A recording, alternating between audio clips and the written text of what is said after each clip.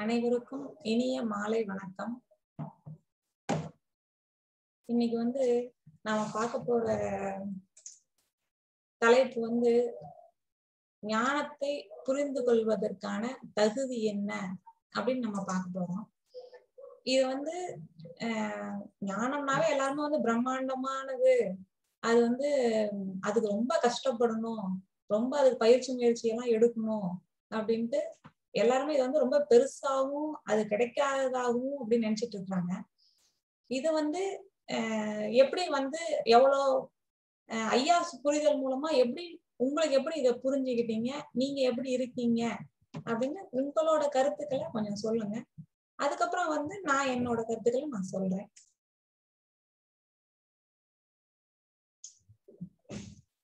ஞானம் அடையறதுக்கு என்ன தகுதி வேணும் அப்படின்னு நீங்க நினைக்கிறீங்க அப்படிங்கறது உங்களோட கருத்துக்களையும் சொல்லுங்க.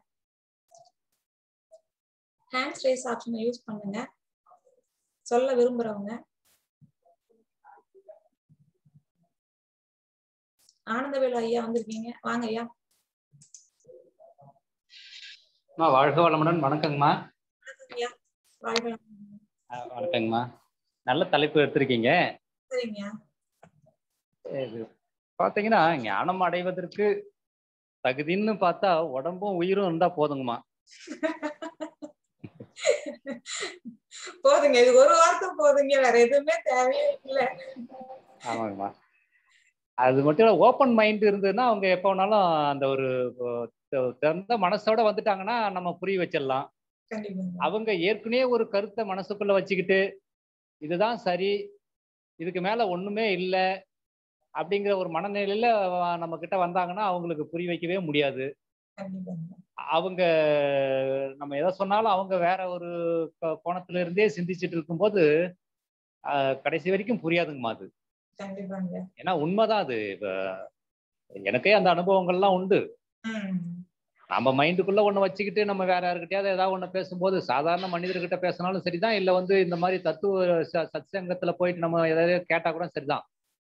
நம்ம ஒரு கருத்தை வச்சுக்கிட்டு அவங்க சொல்றத நம்ம கேட்டோம்னா நம்மளுக்கு முரண்பாடாவே தான் இருக்குது நம்ம விட்டுட்டு சரி அவங்க என்னதான் சொல்றாங்க அதுல ஏதாவது உண்மை இருக்குதா அப்படின்ற ஒரு ஓப்பன் மைண்ட்ல நம்ம போகும்போது சரியான ஒரு விஷயமா இருக்கிற மாதிரி தான் இருக்கும். ஏன்னா அவங்க அவங்களும் அவங்கவுங்க கிட்ட இருக்கக்கூடிய ஒரு அனுபவத்தையும் அவங்களுடைய வாழ்க்கையில அவங்க பெற்ற ஞானத்தை தான் நம்மளுக்கு சொல்றாங்க. அதுல வந்து பொய் கலந்துருக்கிறதுக்கு வாய்ப்பு இல்லை. நம்மளுடைய புரிதல்ல தான் வந்து தவறு இருக்குமே தவிர அதுல தவறு விட்டுறதுக்கு வாய்ப்பு இருக்காது. அப்படின்னும் போது ஒரு சரியானதை தான் சொல்றாங்க இப்ப.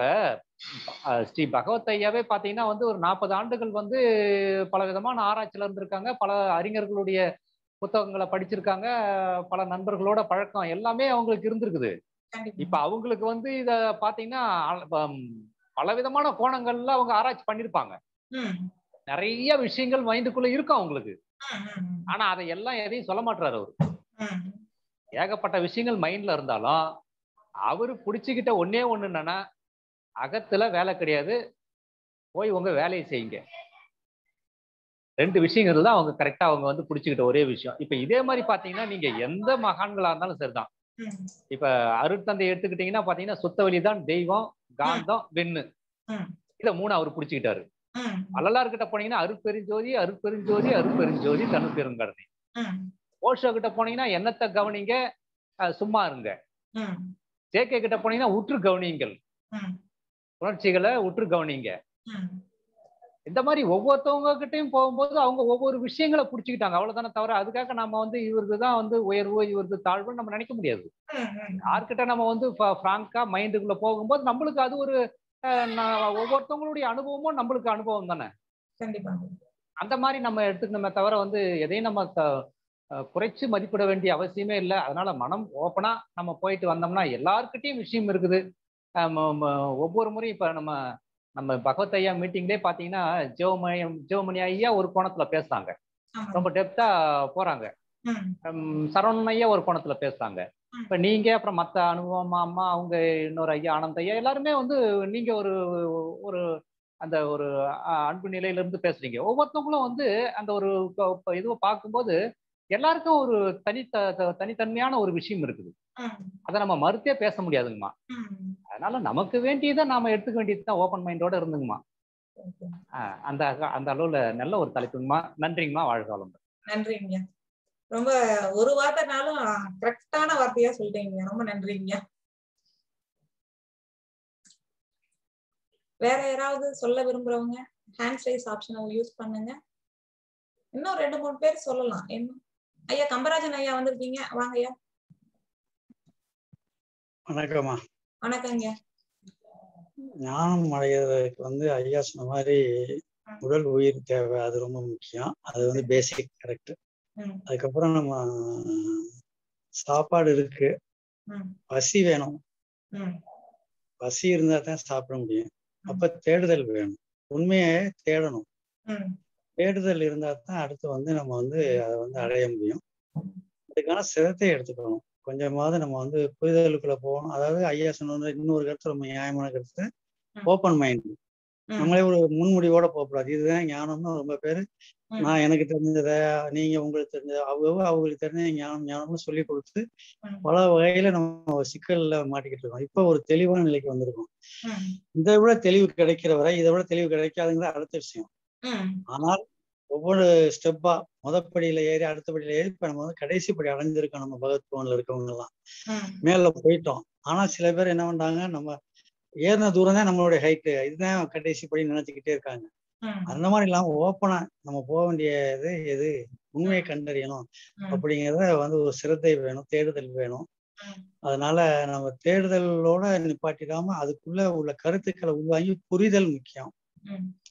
இதுல புரிஞ்சிருச்சுன்னா அப்புறம் வந்து ஐயா சொல்ற மாதிரி அப்புறம் வந்து வாழ்க்கையில வந்து மறக்கவே மறக்காது. பல வழிகளை நம்ம தேர்ந்தெடுத்திருப்போம். ஆரம்ப காலகட்டத்துல இருந்து இருபது முப்பது வருஷமா. ஒரு ஊருக்கு போறோம்னா பத்து வழி இருக்கும். ஒவ்வொரு வழியா போய் போய் அடைய போயிருக்கோம். ஆனா அந்த ஊர் வரல. இப்ப நம்மளுக்கான ஊருக்கான வழி சரியா தெரிஞ்சிருக்கு. அந்த வழியில போறோமான்னு நம்மளுடைய பாதை கரெக்டா இருக்கான்னு பார்த்துக்கிட்டு போனோம்னா ஞானம் தன்னால நம்மளுக்கு வந்து ஐயாவால கிடைச்சிருது. அந்த மாதிரி சிரத்தை எடுத்துக்கணும். அதுக்கு கொஞ்சம் டைமும் நம்ம எடுத்துக்கிட்டு புரிதல் கொஞ்சம் முக்கியம். இதுக்கு ஓரளவு அதாவது ரொம்ப பெரிய படிப்பறிவு வேண்டாம். புரிஞ்சுக்கிற அளவுக்கான ஒரு சிம்பிள் லாஜிக்க வந்து நம்ம மனசை பத்தியே ஈஸியான ஐயா சொல்லி கொடுக்குறாங்க. ஒண்ணும் பண்ணாதீங்கன்னு சொல்றதுக்கு என்ன படிப்பு தேவை? அந்த அளவுக்கு இப்படி போகணும் இருந்தா போதும். அதை சொல்றதை நம்ம கேட்டுக்கிற அளவுக்கு அறிவு இருந்தா போதும். நம்ம ஞானம் வந்துடலாங்க எங்க இருக்கு. ஓகேங்க. நன்றி சிறப்பா சொன்னீங்க. நன்றிங்க.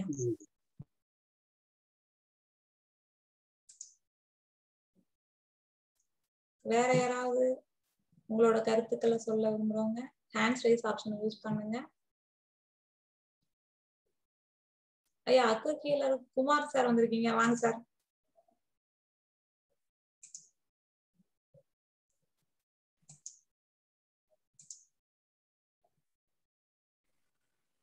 வணக்கம் மேடம் வணக்கம் சார் யாரும் வராதான் வந்தேன்.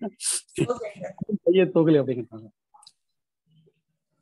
நம்மளுக்கு ஏன் வந்து இப்ப என்ன தகுதி அப்படின்னு தான் நான் ரொம்ப நல்ல ஒரு தலைப்பு ஐயா செட் பண்ணி கொடுத்துறாங்க உங்களுக்கு.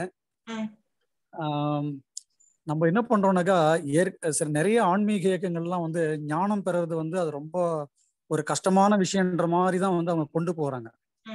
அதாவது நீங்க இறைநிலையை உணர்ந்தாதான் உங்களுக்கு ஞானமே கிடைக்கும். அதுக்கப்புறமா வந்து நீங்க வந்துட்டு உங்களுடைய வினைப்பதிவுகள்லாம் போனாதான் உங்களுக்கு ஞானமே கிடைக்கும். அப்படிங்கிறதுனால எல்லாரும் அந்த மாதிரி சொல்லி நம்மள கொஞ்சம் டைவர்ட் பண்றதுனால என்ன நடக்குதுன்னு கேட்டீங்கன்னாக்கா நம்மளுக்கே வந்து ஒரு இது வந்துடுது நம்மளாம் எங்க நம்மளுக்கு நாம தான் நம்ம நிறைய பாவம் பண்ணியிருக்கிறோமே நம்மளுக்கு எல்லாம் எங்க வந்து ஞானம் கிடைக்க போகுது அப்படின்ற மாதிரி இதெல்லாம் ஒரு பெரிய பெரிய தகுதி வேணுன்ற மாதிரி ரொம்ப என்ன பண்றாங்கன்னாக்கா ஒரு பெரிய கற்பனையில போயிடுறாங்க. இதெல்லாம் நம்மளால முடியவே முடியாது அப்படிங்கிற மாதிரியான ஒரு விஷயத்துக்கு போயிடுறாங்க. இப்ப ஐயா வந்து சொல்றது சிம்பிளா வந்து பாத்தீங்கன்னாக்கா நம்முடைய ஞான விடுதலை புத்தகத்திலே ஒரு நாலு விஷயங்கள் கொடுத்துருக்காங்க. அதாவது ஆன்மீகத்துல ஒரு அக்கறை இருக்கணும் ஆன்மீகத்துல ஒரு ஆர்வம் இருக்கணும் ஆன்மீக புத்தகங்கள்ல ஒரு ஆர்வம் இருக்கணும். அதே மாதிரி வந்து ஒரு தாழ்வு மனப்பான்மை இருக்கக்கூடாது. அதே மாதிரி ஏதாவது நம்ம சொல்லக்கூடிய நியாயமா சொல்லக்கூடிய கருத்துக்களை வந்து ஏத்துக்கக்கூடிய ஒரு மனப்பக்குவம் இருக்கணும். இங்க நம்ம வந்து வேற ஒரு ஆன்மீக இயக்கத்துல போயிட்டு நம்ம ரொம்ப அதுல சொல்லப்படுற கருத்துக்களை ரொம்ப நம்ம வந்து முழுகிட்டோம்னாக்கா எவ்வளவுதான் நியாயமான கருத்துக்களை நம்ம சொன்னா கூட அதை எடுத்துக்க கூடாத மனப்பான்மையில இருக்கிறாங்க நிறைய பேர் அந்த மாதிரி கூட. இன்னொரு பிரச்சனைன்னு கேட்டாக்கா உண்மையிலேயே அவங்களுக்கு வந்து பிரச்சனை வரும்போது அவங்க வந்து ரொம்ப பிரச்சனைக்கிறவங்களுக்கு சொன்னா கூட என்ன பண்றாங்கனாக்கா பிரச்சனை வரவில்லையும் பிரச்சனை வரல நான் நல்லா தானே இருக்கிறேன் அப்படின்னு சொல்லி சொல்றாங்க. பிரச்சனை வந்த பின்னாடி சொன்னோம்னாக்கா என்ன பண்றாங்கன்னு கேட்டீங்கன்னாக்கா "ஆஹ், இதெல்லாம் பண்ணா நான் இதெல்லாம் பண்ணா எனக்கு பிரச்சனை தீர்ந்துருமா ம். நீங்க என்ன பண் நீங்க என்ன சொல்றீங்க? மனசை பத்தி மனசுல இருக்கிறத பத்தி ஒண்ணு கவ இது இது அதுல வரக்கூடிய எண்ணங்களை நீங்க வந்து எதுவும் கண்டுக்காம விட்டுருங்க. அந்த மாதிரி தான் என் பிரச்சனை தீர்ந்துருமா? அப்படின்னு சொல்லி சொல்றாங்க. அந்த புறத்தையும் அகத்தையும் ரெண்டுத்தையும் வந்து ஒரு கம்பைன் பண்ணிக்கிட்டு கன்ஃபியூஷன் ஆயிட்டு ரொம்ப என்ன பண்றாங்கன்னாக்கா என் புறத்துல இருக்கிற ப்ராப்ளத்துக்கும் அகத்துல ப்ராப்ளத்தோட கொஞ்சம் கம்பைன் பண்ணிக்கிட்டு என்ன பண்றாங்கன்னாக்கா தனித்தனியா பிரிக்க தெரியாதனால நம்ம சொல்றதை வந்து காது கொடுத்து வாங்குற அளவுக்கு இல்ல. முக்கியமான விஷயம் நம்மளுடைய இந்த தகுதின்னு பார்த்தோம்னாக்கா எந்த ஒரு முன்முடிவும் இல்லாம இருக்கணும். ஞானம் ரொம்ப இது எத- எதை நம்ம முன் எந்த ஒரு முன்முடிவும் இல்லாம நம்மளுக்கு வந்து சரி இவங்க சொல்றாங்க கேட்போம் அப்படின்ற மாதிரி போனாங்கன்னா பிரச்சனை இல்லை. இதெல்லாம் நம்மளுக்கு நடக்கிற காரியமா. நம்ம நிறைய ஏற்கனவே நிறைய விஷயங்களை போட்டு வச்சிரோம் ஆன்மீக சம்பந்தமா. அந்த மாதிரி விஷயங்களே நம்மள நிறைய தடுத்து நிறுத்திக்கிட்டு இருக்கு.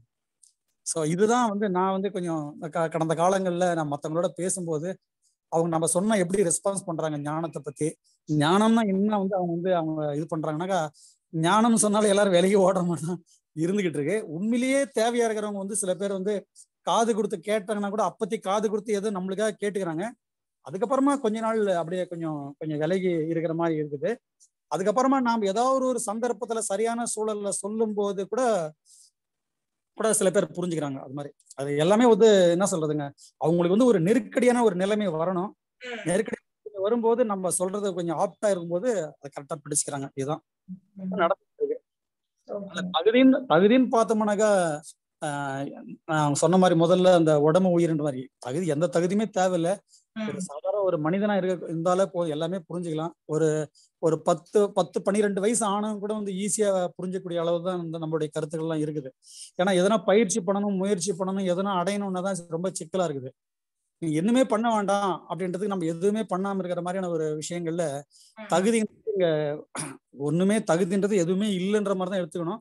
ஆனா நம்ம வந்து அந்த நிறைய விஷயங்களை குழப்பிக்கிறதுனால தான் எல்லாமே வந்து ஒரு மாதிரி சக்சஸ் ஆகாம போயிட்டு இருக்கு சரி ஓகேங்க sir thank you sir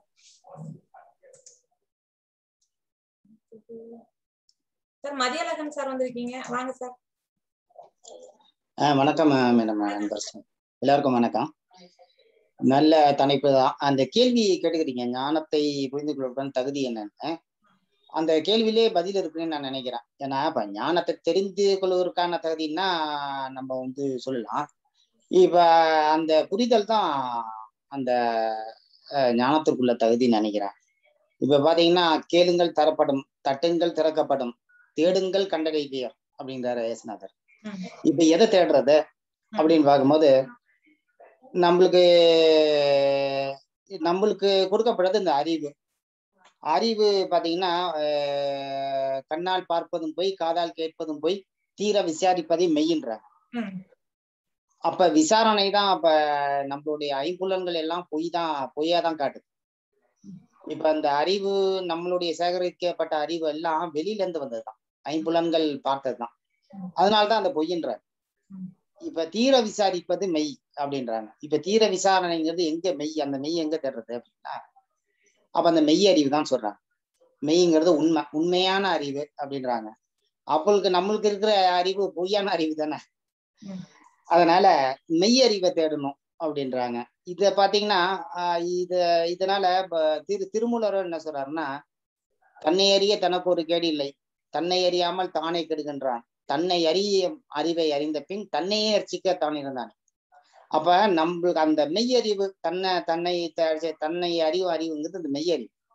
அதை புரிஞ்சுக்கிட்டோம்னா தன்னை அர்ச்சிக்க தான். இருந்தானே அகம் பிரம்மாஸ்மி. அந்த நிலைக்கு நம்ம வந்துடுறோம். இப்ப அப்படியே பாத்தீங்கன்னா திருக்குறள் பாத்தீங்கன்னா.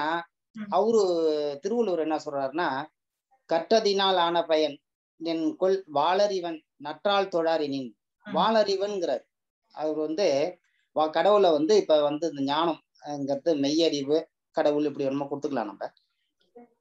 அந்த வாளறிவன் மெய்யறிவு நம்ம தொடலன்னா அது என்ன நம்ம கற்றுத்தாலும் எவ்வளவு படிச்சாலும் அதனால பய- பயன் இல்லைன்றாரு. எவ்வளவு கத்துட்டு போனாலும் அதனால பயன் கிடையாதுன்றாரு. அதனால இப்ப பாத்தீங்கன்னா நம்மளுக்கு ஒரு சார் முன்னாடி சொன்ன மாதிரி ஒரு கேட்கும் திறனை கொஞ்சம் ஆர்வத்தோட இருக்கணும். நம்ம அதுல வந்து அந்த என்ன முன்முடிவோட இல்லாம கேட்கும் கேட்கும் திறன் இருக்கும். செல்வத்துள் செல்வம் செவிச்செல்வம் அச்செல்வம் செல்வம் செல்வத்துள் எல்லாம் தலைன்றார் அப்ப அந்த நம்ம கேட்கும் திறனை ஒரு ஆர்வத்தோடு என்ன சொல்றாங்க? நம்ம அதை கொஞ்சம் கூர்ந்து கவனிச்சாவே நல்லா இருக்கும்னு நினைக்கிறேன். பாத்தீங்கன்னா நிறை குடம் ததும்பாதும்பாங்க. உண்மையில ஓட்டை குடமும் ததும்பாது. அப்படின்னு என் ஃப்ரெண்டு சொல்லுவாரு. அதனால நம்ம இந்த பொய்யான அறிவை நம்பாம மெய்யறிவு மூலியமா இப்ப ஞானம்ங்கிறது ஐயா இப்ப நிறைய உங்க மூலியமா நிறைய ஜூம் மீட்டிங் போட்டு நிறைய இதை பத்தி பேசுறோம். இதை புரிஞ்சுக்கிட்டாவே போதுங்க தான் என்னோட கருத்துங்க. நன்றி. நன்றி. நன்றி. சார் சுரேஷ் காந்தி அப்படின்றவங்க வந்திருக்கீங்க. வாங்க ஐயா. வணக்கம்மா. தென்காசில இருந்து பேசுறேம்மா. எங்க இருந்துங்கய்யா தென்காசில இருந்து பேசுறேம்மா. ஆ சொல்லுங்க. அம்மா இந்த நாணம் பெற தகுதி. பேசிக்கா தேடுதலும் சூழ்நிலையும் இணையும் போது தகுதி தானாக வந்துடும் நினைக்கும். சூழ்நிலைங்கிற போது. ஒரு இன்ப நாடத்திலே இருக்கும்போது அவங்களுக்கு அந்த இதே தெரியாது. சரி வாழ்க்கை நல்லா தான் போகுது அப்படின்னு போயிட்டு இருக்கும். மன துயரங்களும் கவலைகளும் வரும்போது அந்த சூழ்நிலை அமையும் போது அவங்க முயற்சி பண்ணுவாங்க சில விஷயத்துல சரி பண்ணதுக்கு முடியாது. அப்படிங்கும்போது நண்பர்கள்ட்ட உதவி கேட்பாங்க அதுவும் சரி வராது. அப்புறம் கடவுள்கிட்ட வழிபாட்டை பண்ணுவாங்க அப்பவும் முடியாது. அப்படிங்கும் போது இது எல்லாமே சரி வரலையே. அப்போ என்னங்கும் போது அவங்களே இயலாமை ஆயிருது. எல்லாத்துலயும் முடியல நம்மளாலையும் முடியல. அப்போ அதுக்கு மீறி ஏதோ இருக்கு அப்படிங்கும் போது அவங்களையே யாரையும் நம்பல கடவுளையும் நம்ப மாதிரி ஆயிடுது அப்புறம் ஒரு தேடுதல் ஆரம்பிக்குது. அப்ப இந்த சூழ்நிலையும் தேடுதல் வரும்போது நானும் ஆட்டோமேட்டிக்கா ஒரு புரிதல் ஏற்பட வாய்ப்பு வந்து அப்படின்னு நினைக்கிறேம்மா. ஓகேங்க. ரொம்ப கரெக்ட் தாங்கய்யா ஆ சரிங்கம்மா. நன்றி நன்றிங்க.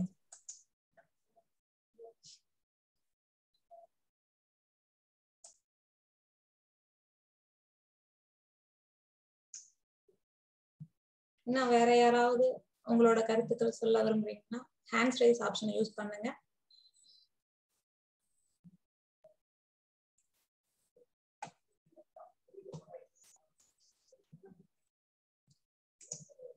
சரி யாரும் எதுவும் சொல்லல.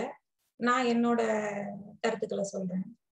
அதாவது என்னன்னா ஞானத்தை புரிஞ்சுக்கிறதுக்கு தகுதி என்ன அப்படின்னு சொல்லி நம்ம இன்னைக்கு பார்க்க போறோம்.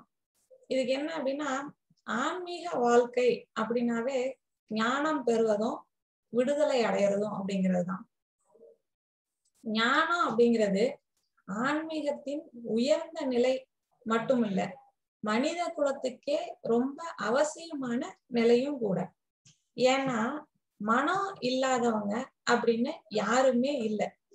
மனச பயன்படுத்தி தான் இந்த வாழ்க்கைய வாழ்ந்துட்டு இருக்கிறோம் நம்ம. மனசு வழியா மனசு வழியா தான் நாம எல்லாத்தையுமே புரிஞ்சுக்கிறோம். அப்படி இருக்கும்போது மனசு எப்படி செயல்படுது அப்படின்னு தெரிஞ்சுக்கிறது எவ்வளவு முக்கியமானது அப்படிங்கறத நம்ம இங்க பார்க்க போறோம். இவ்வளவு முக்கியமா இருக்கிற ஞானத்தை புரிஞ்சுக்கிறதுக்கு தகுதி தான் என்ன? அப்படின்னு நம்ம பார்க்கலாம். பொதுவா பெரும்பாலானவங்க என்ன நினைக்கிறாங்க அப்படின்னா ஆன்மீகத்தின் ஆரம்பம் பக்தி பூஜை அனுஷ்டானம் அப்புறம் தியானம் அப்படின்னு ஆன்மீகத்தின் அப்படின்னு இருக்காங்க. அப்புறம் வந்து ஆன்மீகத்தின் உச்சம் வந்து ஞானம். அதை அதை வந்து அடையணும் அப்படின்னா வேதங்கள் உபநிஷங்கள் கத்துக்கிறதுக்கு அப்புறம்தான் வந்து தீவிரமான தியானம் செஞ்சிருக்கணும் அப்படின்னு நினைச்சிட்டு இருக்கிறாங்க. இப்படி தீவிரமா முயற்சி செஞ்சா என்னைக்காவது ஒரு நாள் ஞானம் கிடைக்கும் அப்படின்னு நினைச்சிட்டு இருக்காங்க இதுதான் ஞானத்தை புரிஞ்சுக்கிறதுக்கான தகுதின்னு நினைச்சிட்டு இருக்கிறாங்க. ஆனா உண்மையில அப்படி இல்லவே இல்லை. ஞானம் அப்படின்னா வெறும் அறிவுபூர்வமான புரிதல். அதுக்கு வந்து பயிற்சியோ தியானமோ இங்க தேவையே இல்லை. வேதங்கள் உபநிடதங்கள் என்ன சொல்லுதுன்னு தெரிஞ்சுக்கணும் அப்படிங்கிற அவசியமும் இங்க இல்லை. நம்முடைய மனசு இயற்கையில எப்படி இயங்குது அப்படின்னு தெரிஞ்சுக்கிறது தான் வந்து ஞானம். நாம எல்லாரும் புறத்துல வந்து நம்மையும் நம்ம சூழ்நிலையும் வந்து நல்லபடியா வச்சுக்கணும் அப்படின்னு தான் நினைக்கிறோம். நம்ம மனசையும் நல்ல நிலையில வச்சுக்கணும். அப்படின்னா எல்லாரும் எப்பவுமே வந்து முயற்சி செய்யறோம் நம்முடைய வந்து நம்மளோட புறச்சூழல் வந்து நல்லபடியா வச்சுக்கிறதுக்கு என்னென்ன பண்ணணும் அப்படின்றது எல்லாருக்குமே தெரியும். என்ன அப்படின்னா இப்ப வெளியில வந்து நம்ம நல்லா வாழணும். அதுக்கு ஒரு வீடு தேவை. அது நல்ல சாப்பாடு தேவை. நம்ம குழந்தைங்களை படிக்க வைக்கிறதுக்கு நல்லபடியான ஒரு வசதி வாய்ப்பு தேவை அப்படின்னா புறத்துல வந்து நமக்கு சேவை தேவையான முயற்சிகள் எல்லாமே என்ன செய்யணும் அப்படிங்கிறது தெரியும். அது வந்து நம்ம ஆஹ் அதே மாதிரிதான் நம்ம மனசு வந்து நல்லபடியா வச்சுக்க என்ன செய்ய வேணும் அப்படின்னா நல்லா தியானம் பண்ணணும் அப்படின்னும். கெட்ட எண்ணம் வராம பாத்துக்கணும் அதாவது கெட்ட எண்ணம் அப்படின்னா வந்து கோபம் கவலை வருத்தம் ஆஹ் ஆஹ் பொறாமை அப்படின்ற மாதிரி அந்த மாதிரி நிறைய எண்ணங்கள் நமக்கு இருக்கு. அந்த எண்ணங்கள் எதுவும் வராம பாத்துக்கணும் மனசை எப்பவும் வந்து தூய்மையாவும் அமைதியாவும் வச்சுக்கணும். அப்படின்னு தான் நானே நினைச்சிட்டு இருந்தேன். இப்ப நான் நான் மட்டும் இல்ல பெரும்பாலானவங்க வந்து அப்படிதான் நினைச்சிட்டு இருக்கிறாங்க. ஆனா நாம இங்க புரிஞ்சுக்க வேண்டியது என்ன அப்படின்னா நம்ம மனசுல வரக்கூடிய எண்ணங்களும் உணர்வுகளும் நமக்கு கட்டுப்பட்டது இல்ல அவை வந்து சரி செய்ய வேண்டிய அவசியமும் எதுவும் நமக்கு இல்ல. அது எல்லாமே எப்படி தாமா வந்துச்சோ அதே மாதிரியே தாமாவே அது மறைஞ்சு போயிரும். அப்படிங்கிறது தான் இங்க உண்மை. இந்த உண்மைய வந்து புரிஞ்சுக்கிட்டு மனசு மனச பத்தி நம்ம வந்து மனசு வந்து நிர்வாகம் செய்யக்கூடிய எந்த வேலையுமே இல்லை அப்படிங்கிற உண்மையை புரிஞ்சுக்கிறது அப்படிங்கிறது தான் இங்க ஞானம் அப்படிங்கிறது நம்ம. இந்த ஞானத்தை வந்து அதாவது நாம புரிஞ்சுக்கிட்டத செயல்படுத்த வேண்டிய அவசியம் அப்படிங்கிறது எதுவுமே இங்க இல்ல. இப்ப நம்ம வந்து ஒரு வேலை செய்யறதுக்கு இந்த மாதிரி செய்யணும். ஊருக்கு ஏதாவது போறோம் அப்படின்னம்னா இந்த ஊருக்கு போய் எப்படி போகலாம் என்ன பண்ணலாம்? இங்க இருந்து சென்னை போறோம் அப்படின்னு வைங்க. அது வந்து ட்ரெயின்ல போகலாமா இல்ல கார்ல போகலாமா அப்படின்னு ஒரு என்ன பண்ணணும்? ஏது போகணும்னு ஒரு பண்ணுவோம். ஆனா இங்க வந்து நம்ம வந்து இந்த ஞானத்தை வந்து நம்ம புரிஞ்சுக்கிறோம் அப்படின்னா அதை பத்தி செயல்படுத்த வேண்டிய அவசியமே எதுவுமே இல்லை. புரிஞ்சுக்கிறதோட நமக்கு வந்து ஒட்டுமொத்த வேலையுமே அங்க முடிஞ்சு போயிருது இது வந்து வெறும் புத்தி பூர்வமான புரிதல் தான். இன்னும் அறிவுபூர்வமான புரிதலும் கூட இது. இத சரியா புரிஞ்சுக்கிட்டா போதும். வேற எதுவா வேற ஏதாவது ஆன்மீகத்தை ஆன்மீக தத்துவங்கள் இல்ல வேதங்கள் என்ன சொல்லுதுன்னு தெரிஞ்சுக்கணும் அப்படின்னு தேவையான்னு கேட்டா அதுவும் தேவையில்லை அப்படிங்கிறது தான் இங்க வந்து உண்மை. மனசு எப்படி செயல்படுதுங்கிறது அப்புறம் அது தன்னைத்தானே சரி செய்து கொள்கிறது. நமக்கு அங்க எந்த வேலையும் இல்லைன்னு தெரிஞ்சுக்கிட்டா போதும்.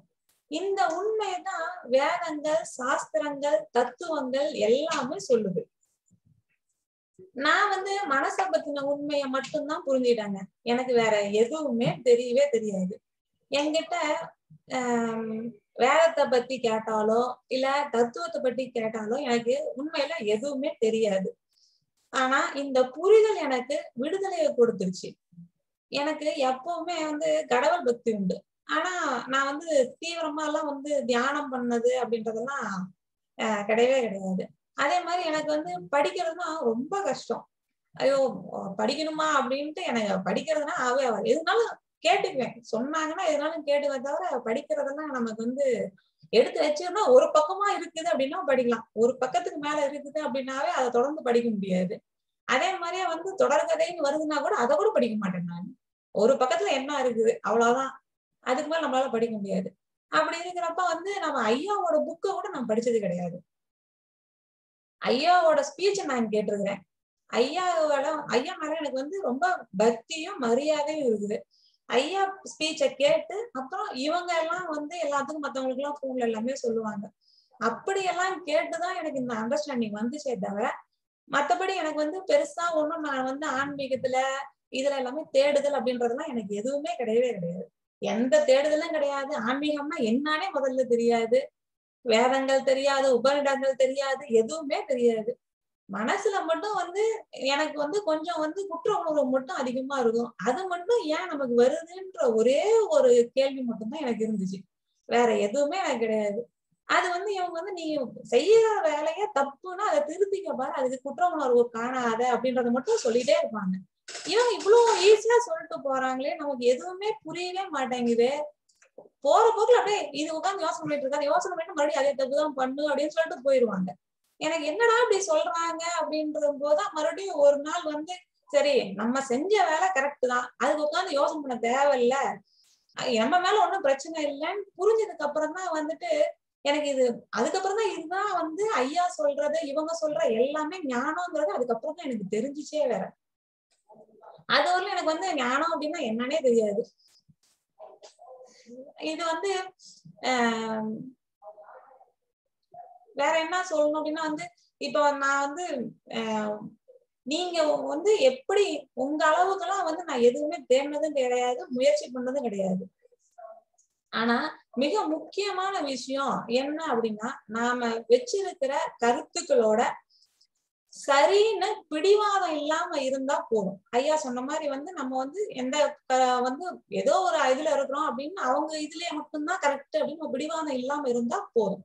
அது வந்து திறந்த மனசோட நம்ம என்ன சொல்ல வராங்க அப்படின்னு புரிஞ்சுக்கிட்டா போதும்.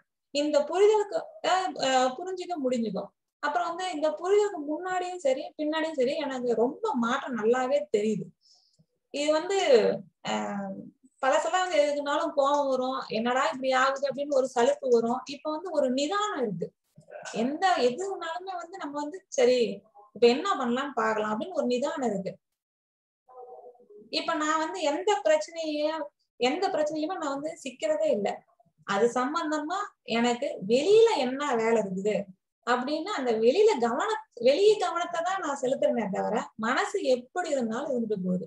அது இயற்கையா வந்தது அது இயற்கையா பாத்துக்கும். எனக்கு அங்க எந்த வேலையுமே இல்ல அப்படின்னு தான் அங்க நான் முடிச்சுக்கிறேன். இப்படி என்னோட இந்த தகுதிக்கே எனக்கு வந்து ஞானம் கிடைச்சிருக்குது. அப்படின்னா இத புரிஞ்சுக்க முடிய எனக்கு ஞானம் கிடைக்குது இத புரிஞ்சுக்க முடியுது அப்படின்னா பிரச்சனையில இருந்து விடுபட முடியுது. வேற என்ன வேணும்? இத அதாவது என்னோட தகுதிக்கே வந்து இந்த பிரச்சனையில இருந்து வெளியில வந்து ஞானம் கிடைக்குது இத புரிஞ்சுக்க முடியுது பிரச்சனையில இருந்து என்ன செய்யலாம் அப்படின்னு வெளியில பார்க்க முடியுது அப்படின்னா இதை விட வேற என்ன வேணும்? இது ஒண்ணு மட்டும் நம்ம புரிஞ்சுட்டோம்னாவே போதும். அதாவது மத்தவங்களுக்கு எல்லாம் வந்து ஆஹ் கிளாஸ் எடுக்கணும் அப்படின்னா வேணா வேதம் தெரிஞ்சிருக்கணும் தத்துவம் தெரிஞ்சிருக்கணும் அப்படின்னு அவசியம் இருக்கலாம். எனக்கெல்லாம் வந்து இத பத்தி கேள்வி கேட்டா ஒண்ணுமே தெரியாது. எதுவுமே எனக்கு தெரியவே தெரியாது. ஆனா கொஞ்ச கொஞ்சம் பேர் லேடிஸ்க்கு எல்லாம் ஃபோன் பண்ணி ஏதாவது கேட்பாங்க. அவங்க வந்து அவங்க பிரச்சனையை சொல்லி கேள்வி கேட்டா அதுக்கு என்னால பதில் சொல்ல தெரியும். எப்படி சொல்றது? என்ன அவங்க என்ன பிரச்சனையில இருக்கிறாங்க? அப்படின்னு அவங்க மனசு எப்படி அதுல வந்து வேலை செய்யுது அப்படின்னு அதை புரிஞ்சு என்னால பதில் சொல்ல தெரியும். இதே வந்து அவங்க வந்து சாஸ்திரத்தை பத்தியோ இல்ல வேதங்களை பத்தியோ இதுல இப்படி சொல்லியிருக்கிறாங்க அதுல அப்படி சொல்லியிருக்கிறாங்க இல்ல ஆன்மாவை பத்தியோ அப்படி எனக்கு ஏதாவது கேள்வி கேட்டாங்கன்னா எனக்கு எதுவுமே சொல்ல தெரியாது. மனசு அப்படின்னா எப்படின்னு தெரிஞ்சுக்கிட்டேன். இப்ப நான் ரொம்ப ஃப்ரீயாவும் இருக்கேன். உண்மையில ஞானத்தோட பலன் அடையணும் அப்படின்னா இத புரிஞ்சுக்கிட்டா மட்டுமே போதும். இந்த வழியில நம்ம வந்து பெருசா எதுவுமே நமக்கு வந்து தேவை அப்படின்றது இல்ல. ஏதோ ஒரு வகையில வந்து ஒரு ஒரு கஷ்டம் இல்ல தேடுதல் அப்படின்னு ஏதோ ஒண்ணு இருந்தா போதும். மத்தபடி வந்து ஆஹ் பாக்குறதும் வந்து ஈஸியா மத்தவங்களோட வந்து அதுதான் கரெக்ட்னு இல்லாம இருந்து பார்த்தாலும் ஓகே இது வந்து நம்ம ஈஸியா இந்த புரிதலுக்கு வந்துடலாம்னு வைங்களேன் இத பத்தியான உங்களோட கேள்விகள் இல்ல உங்களோட அனுபவங்கள் எது இருந்தாலும் நீங்க ஷேர் பண்ணுங்க. சொல்ல விரும்புறவங்க ஹேண்ட்ஸ் ரைஸ் ஆப்ஷனை யூஸ் பண்ணுங்க.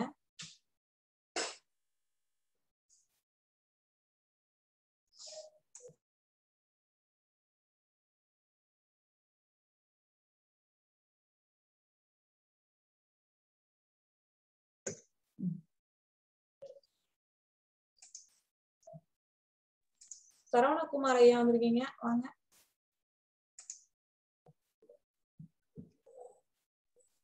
வணக்கம் மேடம். வணக்கம் சார். என் பேர் சரவணா பெங்களூர்ல இருந்து பேசுறேன். இந்த கில்ட்டி ஃபீலிங் வந்து எனக்கு அதிகமா வர்றதுக்கு காரணம் வந்து நான் அதிகமா செல்போன்ல அதிகமான டைம் வேஸ்ட் பண்றேன். ஸோ வேலை வேலை ஒழுங்கா செய்யறது இல்ல ஸோ அதனால என்ன ஆகுதுன்னா ஒரு ஒரு கில்ட்டி ஃபீலிங் வந்து இருக்குது. ஒரு சில நாள் வந்து எனக்கே தோணும் சரி நம்ம வந்து ஆஹ் அதோட சண்டை போடாம நம்ம வந்து டாஸ்க்கை மட்டும் நம்ம ஃபோக்கஸ் பண்ணணும்னு.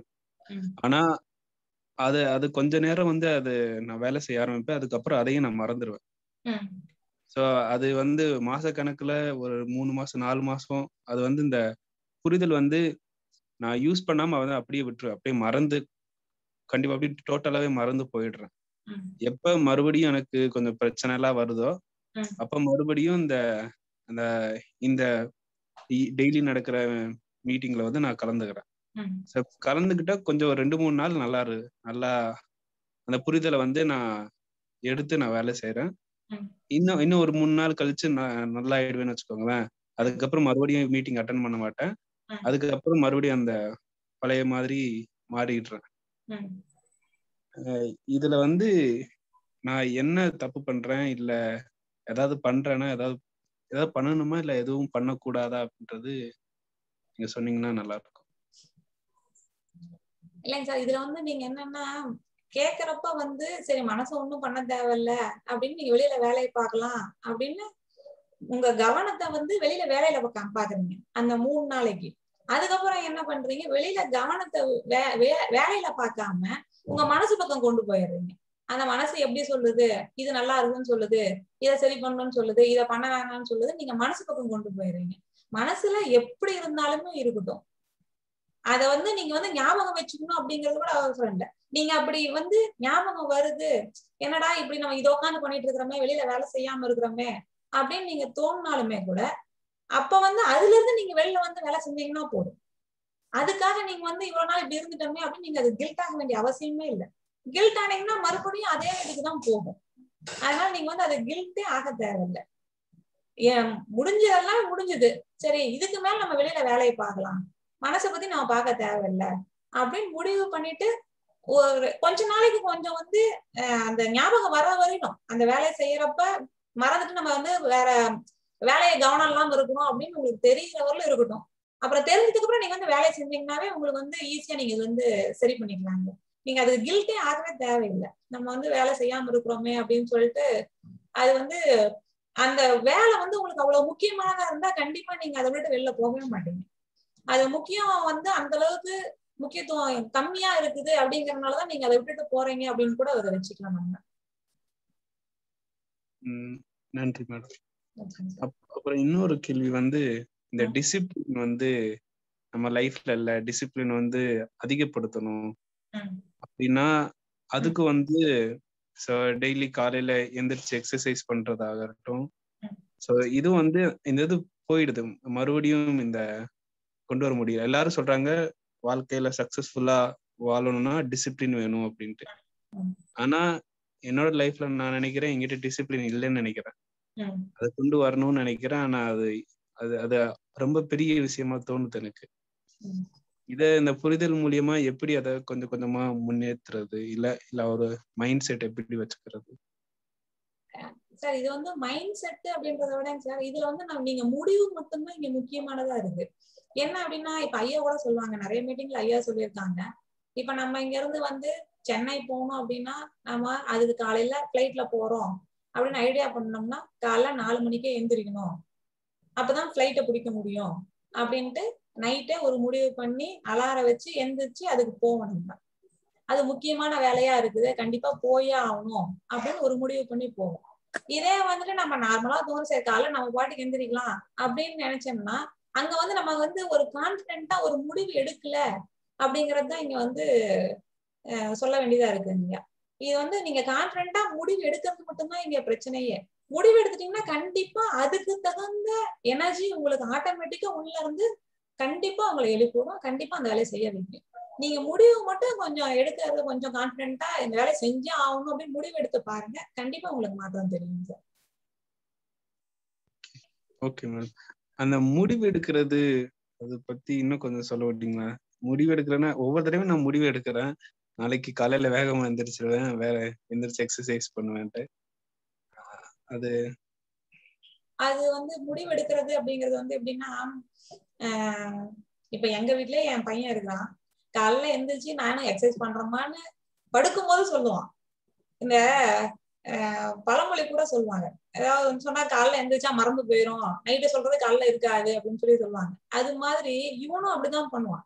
எந்திரிச்சு வேலையை பாடுறா அப்படின்னு சொன்னோம்னா கூட வந்து முடியுமா ஆனா இதே அவனே ஒரு வந்து அலாரம் வச்சு எழுந்திருச்சே ஆகணும்.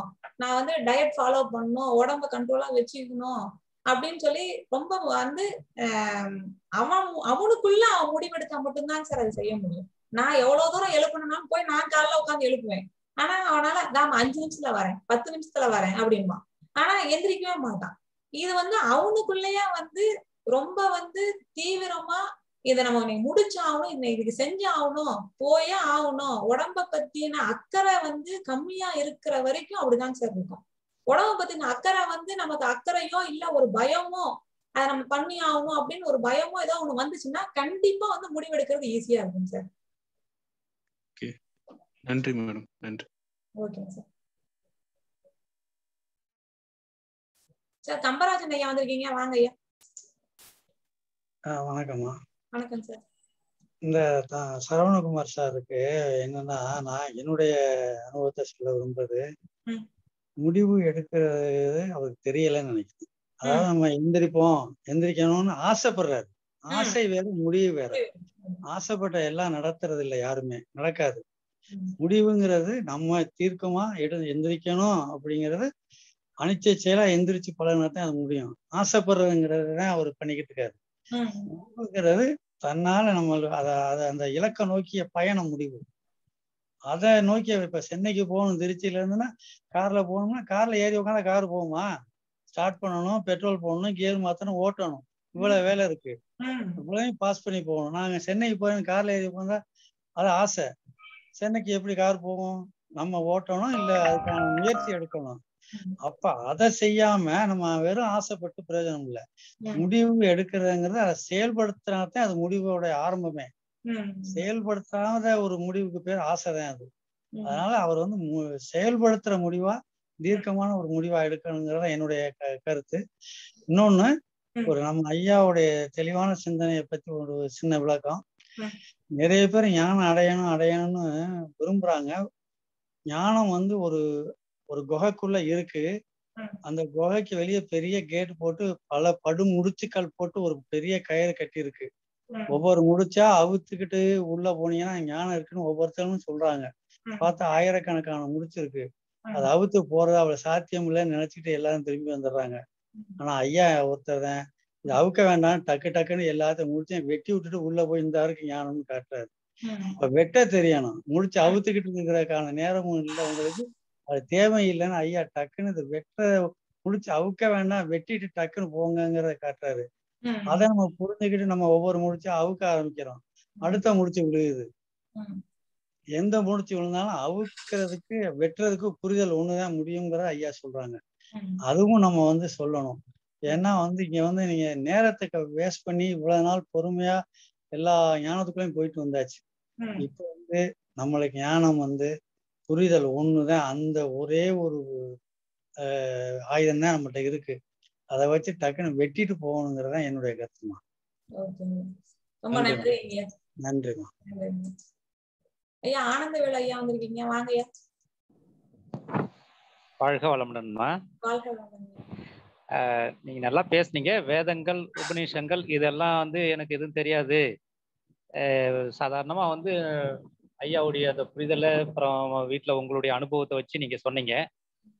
ரொம்ப எளிமையான ஒரு ஒரு அனுபவத்தை நீங்க சொல்லி பரிமாறிக்கிட்டீங்க. ரொம்ப நல்லா இருந்தது. சிறப்பான ஒரு விஷயமும் கூட. ஏன்னா வந்து வேதங்கள் மற்ற எல்லாமே வந்து பாத்தீங்கன்னா அறிவு சார்ந்த ஒரு விஷயமா தான் இருக்குது. ஞானம் என்பது வந்து அகம் சார்ந்த விஷயம்னு சொல்லும்போது அதுக்கு ஒரு சின்ன புரிதல் இருந்தா போதுங்கிற மாதிரி தான் இப்ப இருக்கு. நம்ம பகவத்தையா சொல்லும்போது வந்து அது சின்ன புரிதல் தான் அது.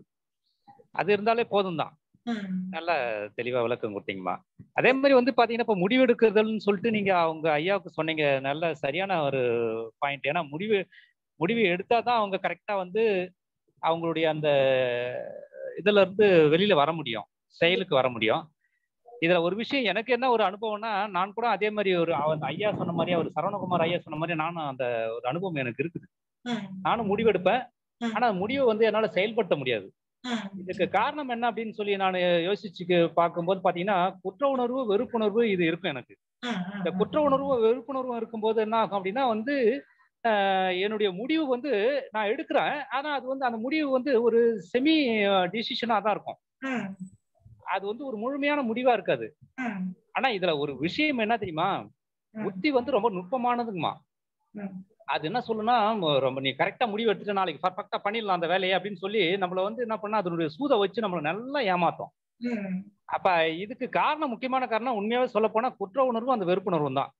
ஸோ குற்ற உணர்வும் வெறுப்புணர்வும் நீங்கன்னா ஒரே வழி ஞானம் பெறதுதான் ஞானம்னு சொல்லக்கூடிய நம்ம அகத்துக்குள்ள வேலை இல்லைன்னு கொஞ்ச நாள் வெளியில வந்தோம்னா ஆட்டோமேட்டிக்கா இது இந்த இந்த செகண்ட்லயே சரி பண்ண முடியும். இப்ப சரவணகுமார் ஐயா இந்த வினாடியில இருந்தே வந்து இப்ப சரி பண்ணிடலாம் உள்ள வேலை இல்ல அங்க வந்து நீங்க க்ளோஸ் பண்ணிட்டு லாக் பண்ணிட்டாருன்னா கொஞ்ச நாள் இருந்தாருன்னா கண்டிப்பா குற்ற உணர்வு சரியாயிடும் வர்றதுக்கு வாய்ப்பு இல்லைங்கம்மா. இது இதை நான் வந்து எதுக்காக சொல்லல?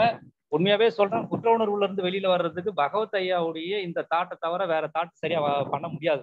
கண்டிப்பா. ரொம்ப கஷ்டம். மற்ற வழிகள்ல போறது ரொம்ப கஷ்டம். நீங்க உற்று நோக்கறதுல கூட நான் இப்ப எல்லா எல்லாத்தையும் நானும் ஆன்மீகத்தை எல்லாத்தையும் பார்த்துட்டு தான் வந்திருக்கிறேன். தெரியாம நம்ம ஒண்ணும் சொல்லல. எல்லாத்தையும் நீங்க கவனிச்சு பார்த்தா கூட நேற்று சிவமணி ஐயா கூட கிளாஸ் எடுக்கும்போது கூட ஒரு ஜனகர் ஒரு கதையை சொன்னாரு. சொல்லும் போது கூட உற்று கவனிக்கும் போது கூட நம்ம வந்து குற்ற உணர்வுல சிக்கிறதுக்கு வாய்ப்பு இருக்கு.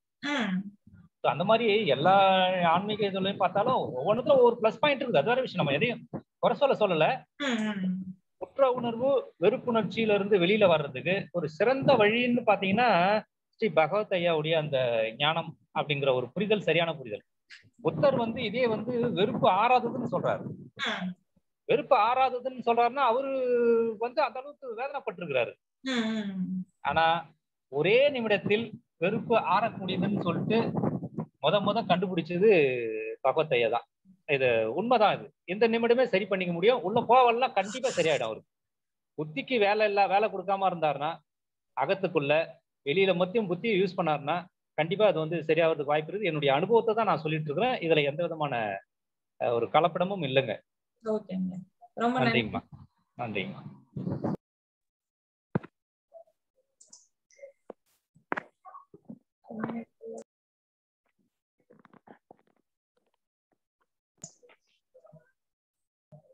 ஐயா முத்துமணி ஐயா வந்திருக்கீங்களா? ஐயா வந்திருக்கீங்களா ஆமாம்மா.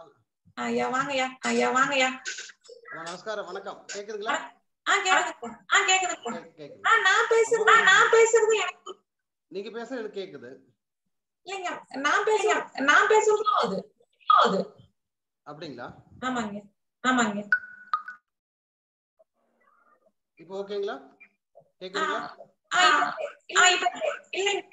கேக்குது இப்ப கேக்குதுங்களா? இப்ப நான் பேசுறது. இல்ல உங்களுக்கு கம்மியா? கேக்குதுங்க வணக்கம் கேக்குதுங்களா ஆ கேக்குதுங்க சொல்லுங்க சொல்லுங்க அம்மா ஐயாவினுடைய இந்த கருத்துக்களை கேட்கறதுக்கு முன்னாடி.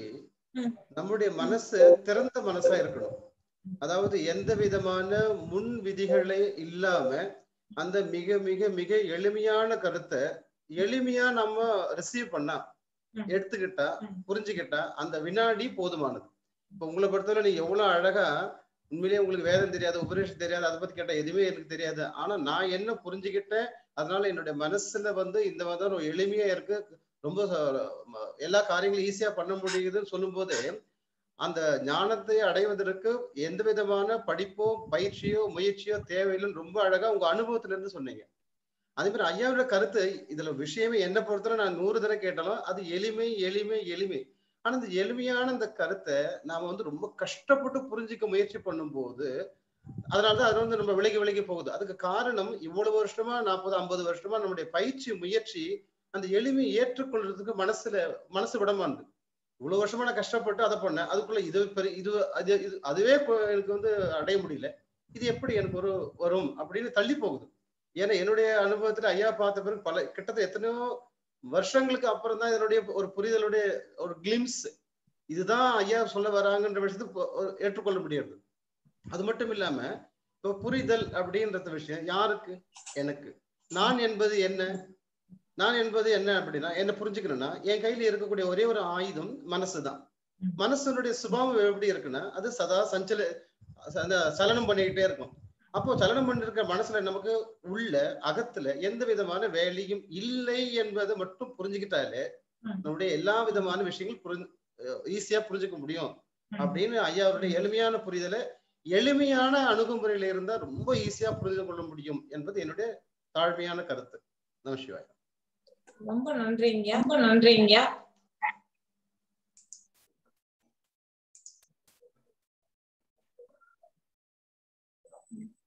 பிரியா வந்திருக்கீங்க. வாங்க.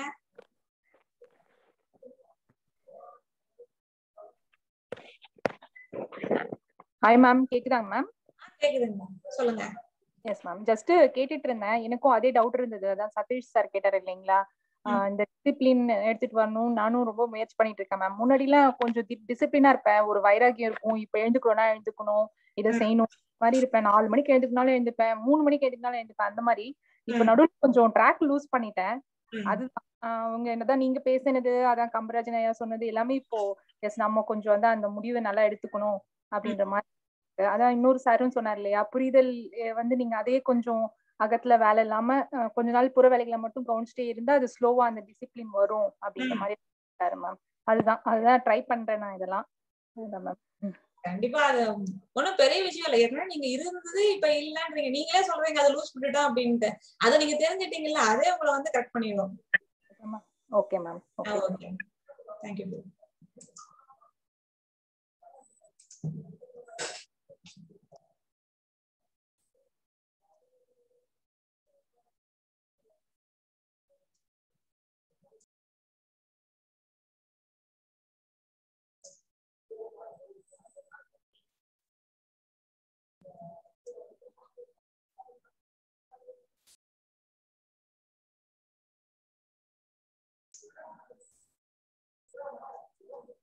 வேற உங்களோட கருத்துக்கள் இல்ல வேற ஏதாவது கேள்விகள் எது இருந்தாலும் கேட்கலாம்.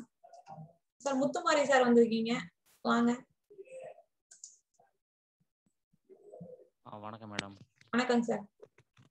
மேடம் என்னோட அனுபவத்துல நான் கொஞ்சம் பகிர்ந்து கொள்கிறேன் அதாவது இந்த அகத்துல இருந்து வர்ற உணர்வுகளை நோக்கி திருப்பி ஏன் வந்த அப்படிங்கிற அந்த கேள்வியை வச்சுட்டாலே பிரச்சனை ஆரம்பிச்சிருது மேடம். எதுவா இருந்தாலும் வர்றது வந்துகிட்டே போட்டோம். அதுக்கு தேவை இருந்தா நம்ம செயல்படலாம். அது நம்மளோட தேவைக்கு ஒண்ணும் வேலை இல்லை அப்படின்னா அதை கண்டுக்காம விட்டுட்டாலே வந்து எல்லா பிரச்சனையுமே சால்வ் ஆகுது. அந்த ஒரே ஒரு விஷயம்தான். அகத்துல இருந்து வரக்கூடிய உணர்வுகள் தேவையில்லாத உணர்வுகளா இருக்கும் குற்ற உணர்வுகளா இருக்கும் கடந்த கால உணர்வுகளா இருக்கும். ஏதோ வருது. ஆனா நமக்கு ஏதாவது அதை பத்தியான ஒரு விஷயங்கள் நமக்கு வெளியில அதை பத்தியான இது செயல் செய்யறதுக்கு இருந்தா மட்டும் நம்ம அதை பத்தி சிந்திச்சா போதும். அப்படி செயலுக்கு தேவையில்லாதது கூட வந்துகிட்டு இருக்கு அப்படின்னா அதை பத்தி ஏன் வந்த இது எதனால அப்படின்னு ஒரு கேள்வி வச்சுட்டாலே. அது தொடர்ச்சி அதோடைய தொடர்ச்சி தொடர்ந்துகிட்டே போகுது இதனால இதனால அதனால இதனால அப்படிங்கும்போது நம்ம என்னுடைய எனர்ஜி பூரா அது என்னதுக்குன்னு கண்டுபிடிக்கிறதுக்கே வந்து செலவாயிடும் ம். அதனால தேவையில்லைன்னு தெரிஞ்ச ஒரு கணத்திலே வந்து தேவையில்லை அப்படின்னு அதை கேள்வி கேட்கறத நிப்பாட்டிட்டாலே அந்த நம்முடைய கேள்வியை வந்து புறத்துல இருக்கலாம். ஆனா அகத்தை நோக்கி ஏன் இந்த உணர்வு வந்துச்சு? அப்படின்னு ஒரு கேள்வி கேட்டோம்னா அதுக்கு ஓராயிரம் பதிலை தேடி அது போயிடும் அந்த பதிலுக்கு முன்னாடி அந்த கேள்விக்கு முன்னாடி நம்மளும் போற மாதிரி அதனால அது சும்மாவே இருந்தாலும் அது பாட்டுக்கு ஏதோ ஒரு- உணர்வு அது பாட்டுக்கு ஓடிட்டே தான் இருக்கு. நீ. பாட்டுக்கு ஓடு நான் பாட்டுக்கு வேலை பார்க்குறேங்கிற மாதிரி அமைதி ஆயிட்டாலே அதுதான் அமைதி ஆயிருது அது அதுக்கு அடுத்து வேற ஏதாவது புதுசா செய்யறதுக்கு புது மாதிரியான ஒரு யோசனை வந்து அதுவாகவே திருப்பி கொடுக்க ஆரம்பிச்சிருது. அதை கேள்வி கேட்டுட்டோம்னா அதை தொடர்ச்சியா போகுது. அது தேவையில்லை அப்படின்னு விடும்போது நமக்கு தேவையான கே தேவையான கேள்வி கேட்கறதுக்கான அந்த எண்ணங்கள் வர ஆஹ் இதுதாங்க மேடம் நான் உணர்ந்துருந்தது ஓகே நன்றிங்க சார்.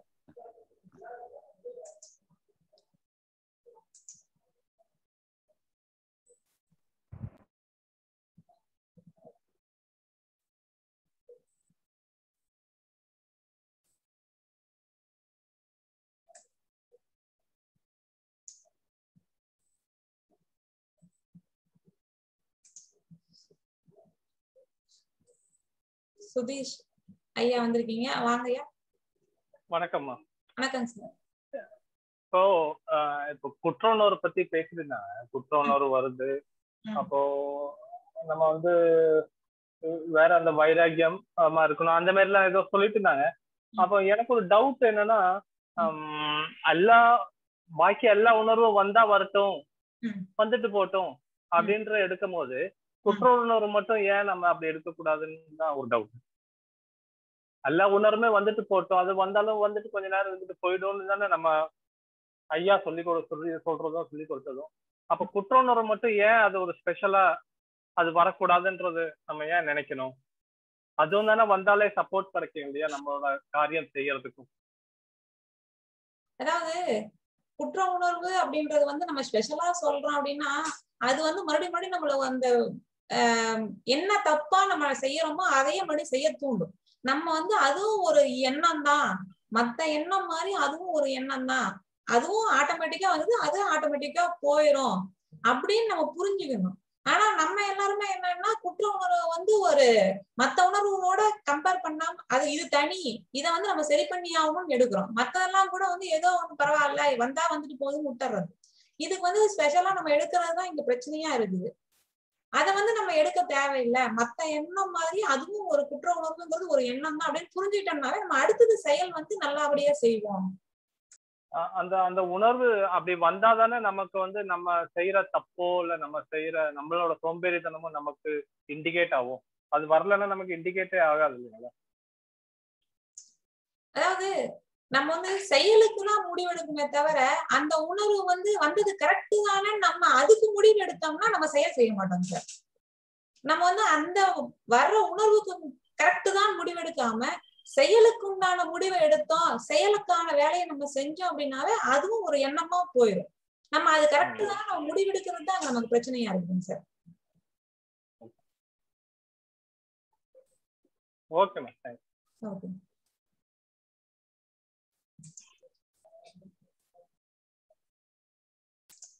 அடுத்து வந்து சங்கர நாராயணன். சார் வந்திருக்கீங்க வாங்க சார்.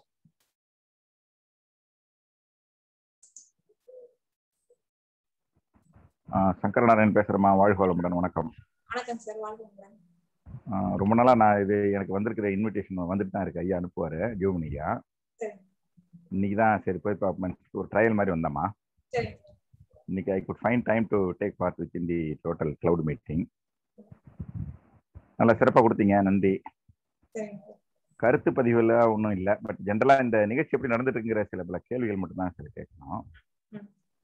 ரெகுலராக டெய்லி நடக்குதாம்மா அது ரெகுலரா டெய்லி யாராவது ஒரு ஹோஸ்ட் வந்து கொடுக்குற மாதிரி ஸ்பீச் கொடுக்குற மாதிரி நடந்துட்டு இருக்குது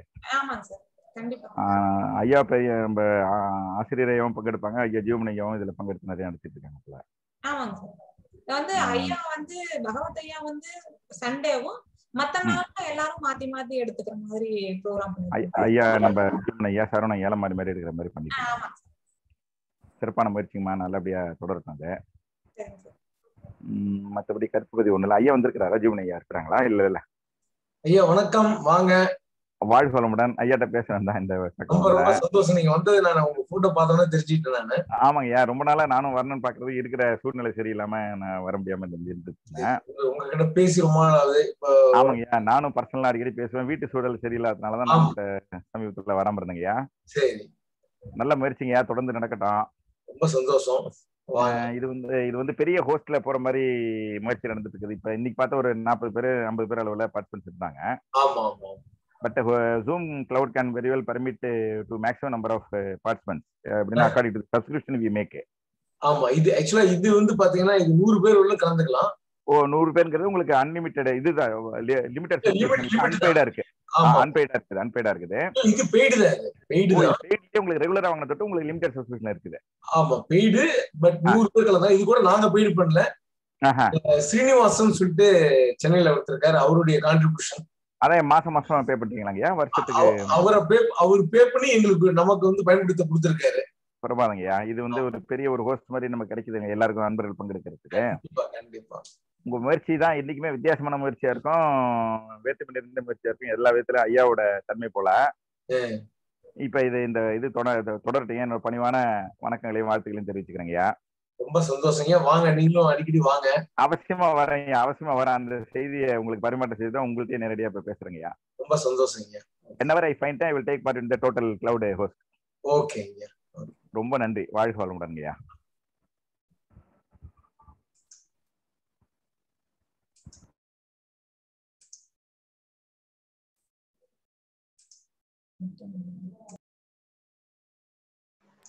ஐயா முத்துமணி ஐயா வாங்கய்யா.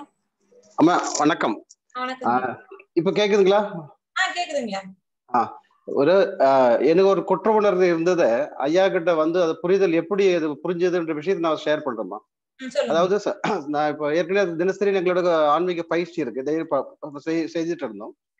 அப்போ ஐயா கிட்ட வந்த பிறகு அந்த பயிற்சி முயற்சிகள் தான் இதுக்கு தடையா இருக்குதுன்னு புரிஞ்சுக்கிட்டோம். ஆனா புரிந்து கொண்ட பிறகும் கூட இவ்வளவு வருஷமா நாம ஏற்கனவே பயிற்சி பண்ணதுனால அவ புரிஞ்சு கொண்ட பிறகு இந்த பயிற்சி அவசியம் இல்லைன்னு தெரிஞ்சு போயிடுது. அவசியம் இல்லைன்னு தெரியும்னா விட்டாச்சு. விட்டு விட்டாச்சு.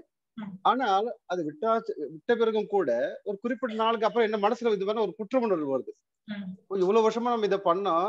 ஒண்ணுமே பண்ணலையே. அதுவும் நாம இருக்கக்கூடிய இடத்துல நம்ம பல பேரும் சேர்ந்து இருக்கிறோம் இப்ப நாம மட்டும் செய்யாம இருக்கும்போது மத்தவங்க செய்யறாங்களே இது அப்படின்ற ஒரு குற்ற உணர்வு வந்த பிறகு ஒண்ணு இங்க செய்யலன்றதுனால குற்றம் வந்துருது.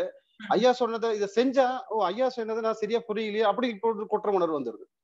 ஒரு சமயத்துல அன்னைக்கு அன்னைக்குதான் நான் வந்து திருவருட்சோலை வந்திருந்தேன். அன்னைக்கு நீங்களே இருந்தீங்க ஜியோமணி சார் இருந்தார். அப்ப ஐயா கூட என்ன பண்ணா ஈவினிங் வாக்கிங் போயிட்டு எப்படி இது ஐயா கிட்ட கேக்குறது? ஐயா நான் வந்து ஏற்கனவே பயிற்சி பண்றேன். அதை பண்ணோம்னா பண்ணக்கூடாதா? எப்படி கேட்கறதுன்னு ரொம்ப நேரம் யோசனை பண்ணி அப்புறம் ஐயா கிட்ட கேட்டேன். ஐயா இது மாதிரி எனக்கு ஏற்கனவே செய்த இந்த பயிற்சி எனக்கு இப்போ செய்யலைனாலும் ஒரு குற்ற உணர்வு இருக்கு. அதனால இது என்ன பண்ணணும் அப்படின்னு கேட்டேன். அப்ப ஐயா ரொம்ப அழகா ஒரு எளிமையா சொன்னாங்க. அதாவது இந்த பயிற்சி செய்யறதுனால நம்மளுக்கு ஞானம் இல்ல. அடையணும் அவசியம் இல்ல. ஆனா பயிற்சி செய்யலனால நம்மளுக்கு ஒரு ஒரு வேதனை ஒரு குற்ற உணர்வு வருது இல்லைங்களா? அதனால வேணும்னா கொஞ்சம் செஞ்சுக்குங்க. அந்த நேரத்துல என்ன பண்ண எதை பயிற்சி பண்ணா பண்ணிக்கங்க. ஆனா அந்த பயிற்சி பண்றதுனால உங்களுக்கு எதை அடையணுமோ அதை அடையணும்னு குறிக்கோள் மட்டும் வேண்டாம். அதை அப்படியே விட்டுடுங்க அப்படின்னாரு. சோ அதன் பிறகுதான் என்னுடைய அந்த அந்த சின்ன ஒரு யூ டர்ன் எடுத்ததுக்கு காரணம் ஐயாவோட அந்த சின்ன ஒரு உபதேசம்.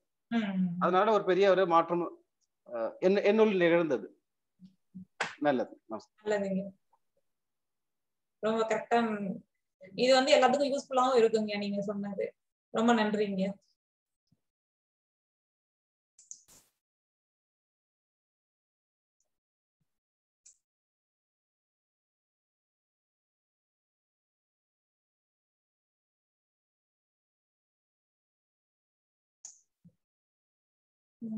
சாட்ல வந்து ஆனந்தவேலு ஐயா போட்டிருக்காங்க. அதாவது குற்ற உணவுக்கான செயல் மாறினால் குற்ற உணர்வு மாறிவிடும். மாறாக குற்ற உணர்வை அகத்தில் சரி செய்ய விரும்பினால் அதை ஒருபோதும் அது வந்து மாறாது அப்படின்றது போட்டிருக்காரு. கரெக்டா போட்டிருக்காங்க ஐயா.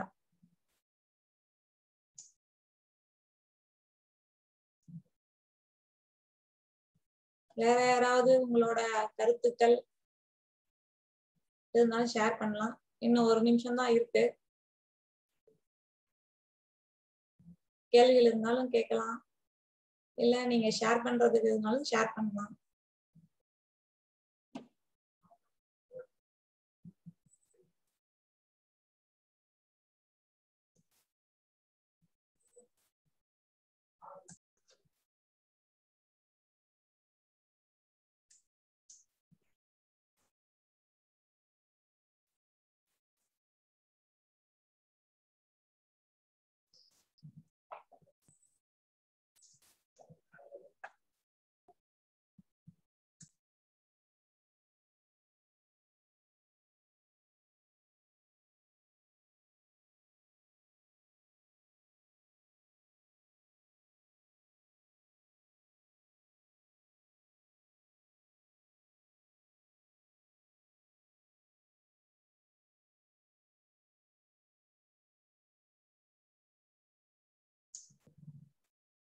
ஐயா சுரேஷ் காந்தி ஐயா வந்திருக்கீங்க வாங்க.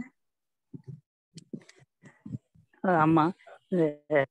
ஒரு வாரத்துக்கு முன்னாடி நம்ம ஜெயமணி ஐயாட்ட பேசியிருந்தேன். மன லயம் மன ரெண்டு மனலயத்துக்கு இடையில மன லய நாசம் வருது. அப்படின்னு சொல்லியிருந்தாங்க. இப்போ அதுல எனக்கு ஒரு சந்தேகம் அது மனசு எதுலையாவது ஒரு லயத்துல தான் இருக்கும். அந்த மன நாசத்துலயும் லயமா இருக்க தானே செய்யும். எப்படி மேடம் புரியல. மனம் லயம் ஆகுது. அதுக்கப்புறம் நீங்க என்ன கேட்டீங்க மனலயம் அந்த டாபிக் பேசும்போது ரெண்டு மனலயம் மனம் ஏதாவது ஒரு லயம் ஆகிக்கிட்டு இருக்குது. அடுத்த மனலயத்துல மனசு மாறும்போது இடையில உள்ள கேப்பு தான் மனலய நாசம். அப்படிங்கும்போது அந்த ம மனலய லாசங்கிறதும் ஒரு மன லயம் தானே மேடம். எப்படி அதான் ஒரு சந்தேகமா இருந்துச்சு. ஐயாட்ட இருந்தா பேசலாமே. ஐயா?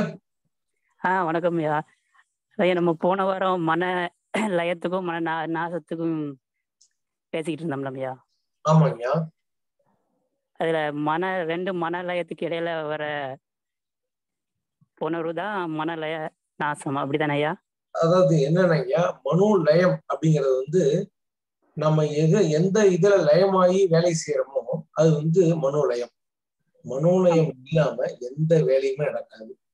வாழ்க்கைங்கிறதே மனோலயத்துல தான் நடந்துட்டு இருக்கு. இப்ப நீங்க சொல்ற இந்த நீங்க கேட்கக்கூடிய இந்த கேள்வியை கூட நான் லயமாயி கவனிச்சாதான் நீங்க என்ன கேட்க வர்றீங்கன்னு எனக்கு புரியும். என் பதிலையும் நீங்க லயமா இருந்தாதான் என் பதில கவனிச்சாதான் உங்களுக்கு வந்து நான் என்ன சொல்ல வரேங்கிறது புரியும். இந்த லயம் வந்து தோன்றி தோன்றி மறைஞ்சுக்கிட்டே இருக்கு.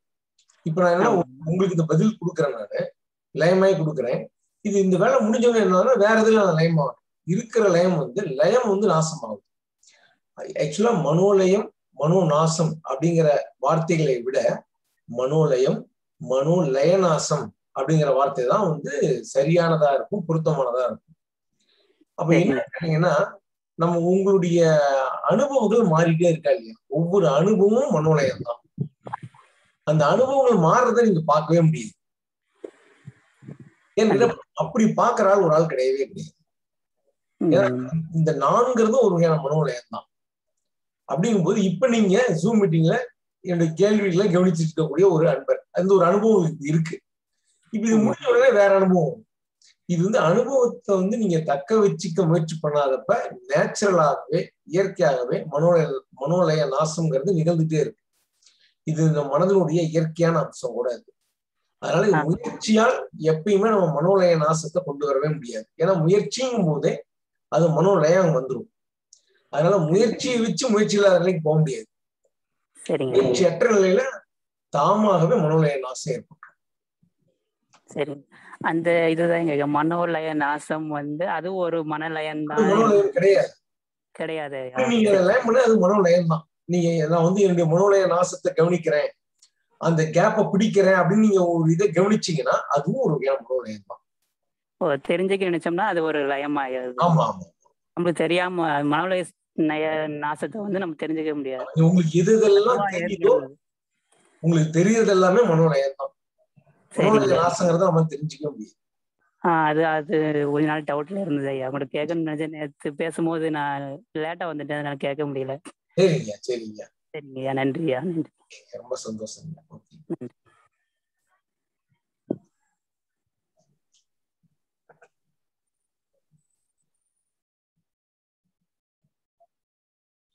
ஐயா பாலு ஐயா வந்திருக்கீங்க.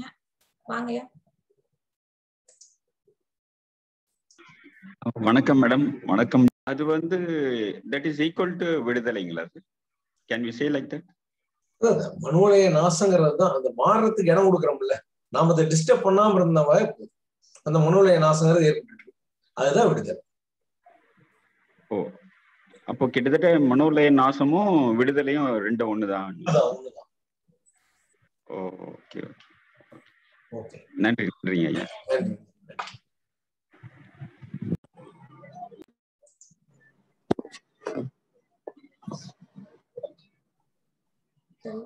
நேரம் வந்து முடிஞ்சிருச்சு. நமக்கு கம்பரேஷனையா நீங்க எது சொல்ல வரீங்களா? இல்ல ஐயா இது கேம்ப பத்தி ஒரு கண்ணைக்கும் சொல்லிருங்க ஐயா. ஆமா ஆமா. ஆக்சுவலா இன்னொரு விஷயம் என்னன்னா இப்ப வந்து கிட்டத்தட்ட எழுபத்தி எட்டு பேர் பக்கமா வந்துட்டாங்க. நம்மளுடைய ஐடியா என்னன்னா இப்ப வந்து நூறு பேர் தான் இதனுடைய கெப்பாசிட்டிங்கிறதுனால ஐயா பேசணும். ஐயா பேசுறப்ப அதை ஹோஸ்ட் பண்றதுக்கு ஒருத்தர் வேணும். ஸோ அதனால ஒரு மூன்று பேரை நம்ம வச்சுக்கிட்டு தொண்ணூத்தி ஏழு நபர் மட்டும் நாம அதோட இந்த ரிஜிஸ்ட்ரேஷன் வந்து க்ளோஸ் பண்ணிடலாம் அப்படின்னு நினைக்கிறோம். இப்பயே வந்து கிட்டத்தட்ட எண்பத்தி எழுபத்தி எட்டு நம்ம வந்திருக்காங்க. ஆமா. கடைசியா நான் ஒரு ஒரு அரை மணி நேரத்துக்கு முன்னாடி பார்த்தப்ப அதனால என்ன நினைக்கிறேன்னா நம்ம சப்போஸ் தொண்ணூத்தஞ்சுக்கு மேல யாராவது வந்தாங்கன்னா நம்ம இன்னும் ஐயா என்ன சொன்னா இன்னொரு கேம்ப் கூட அடுத்து வச்சுக்கலாம். இந்த லாக்டவுன் முடியுங்காட்டி இன்னொரு கேம்ப் வச்சுக்கலாம்னு சொல்லியிருந்தாங்க. அதனால ஆர்வமா இருக்கிறவங்க மிக விரைவில் அந்த லிங்கை கிளிக் பண்ணி அந்த குரூப்ல இணைஞ்சிட்டாங்கன்னா நம்ம வந்து யாரும் மிஸ் ஆகாம வருவாங்க. இது வந்து பதினேழு வர திங்கட்கிழமை பதினேழு அஞ்சு ரெண்டாயிரத்தி இருபத்தி ஒண்ணுல ஆரம்பிச்சு பதினெட்டு பத்தொன்பது அஞ்சு ரெண்டாயிரத்தி இருபத்தி ஒண்ணோட முடியுது. மூன்று நாள் நடக்கும். மூன்று நாளும் கண்டிப்பா கலந்துக்கணும். காலையில வந்து இரண்டு வகுப்பு மாலையில இரண்டு வகுப்பு. ஒவ்வொரு வகுப்பும் பாத்தீங்கன்னா காலையில பாத்தீங்கன்னா ஒன்பது பத்துல இருந்து ஒன்னு நடக்கும். ஈவினிங் வந்து ஃபோர் டு செவன் ரெண்டு வகுப்புலையும் பாத்தீங்கன்னா ஒரு டாக் ஐயா கொடுப்பாங்க. அப்புறம் வந்து கேள்வி பதில் நேரம் ஒதுக்குவோம். ஒரு பிரேக் ஒரு கால் மணி நேரம் இருக்கும். அதுக்கப்புறம் மறுபடியும் இன்னொரு வகுப்பு தொடங்கும். அப்புறம் அதுல வந்து கேள்வி பதில் வந்து நம்ம அதுக்கான நேரத்தை ஒதுக்குவோம். அதனால எப்படி நம்ம பகவத் பவன்ல வந்து கேம்ப் நடத்தினா எப்படி பண்ணுவோமோ அப்படி வந்து எல்லா சப்ஜெக்ட்டுமே ஐயா வந்து பேச போறாங்க. இது ரொம்ப ரொம்ப ரொம்ப பயனுள்ள வகையில இருக்கும். எங்களால நேரில் நடத்த முடியலையேங்கிற ஒரு எண்ணமும் இருக்கு. அது எப்போ வாய்ப்பு இருக்கோ கண்டிப்பா நடத்தலாம். அது ஒரு இந்த சூழ்நிலையை இப்படி நம்ம பயன்படுத்திக்கலாம் அப்படிங்கிறது நம்முடைய ஐடியா. அதனால வாய்ப்பு இருக்கிறவங்க கலந்துக்குங்க. ஓகேங்க. இவங்க வேற ஏதாவது நீங்க ஏதாவது சொல்லணும்னா சொல்லுங்க. இல்ல அதுதான். ஏன்னா புதுசா இன்னைக்கு சில பேர் வந்திருப்பாங்க. ஆமா ஆமா. அதனால அது ஞாபகப்படுத்துங்க வேற ஒண்ணு கண்டிப்பாங்க கண்டிப்பாங்க. தேவையான ஒண்ணுதான். நன்றிங்க. பிரேம். பிரேம் நீங்க கேள்விகள் கேட்கலாம்.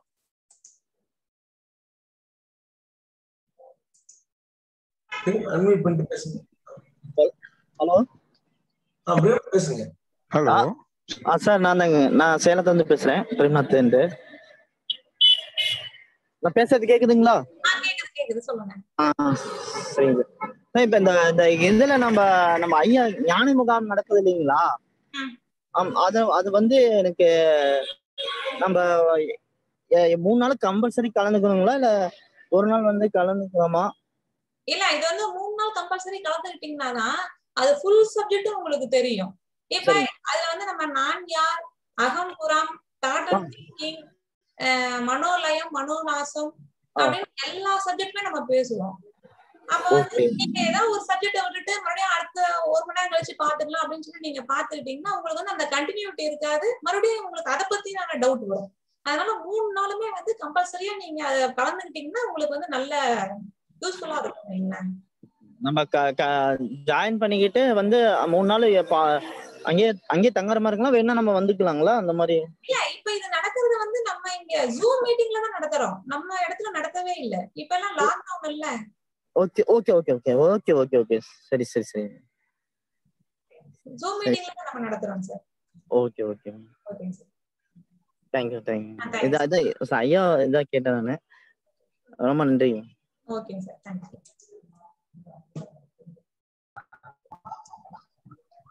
okay. Hello. Hello ஆ சொல்லுங்க சார். ஜோதி எஸ் மேடம் இப்போ பாலு கேட்டாரு. மனோலயம் மனோலயம் நாசனம் அப்படின்ட்டு.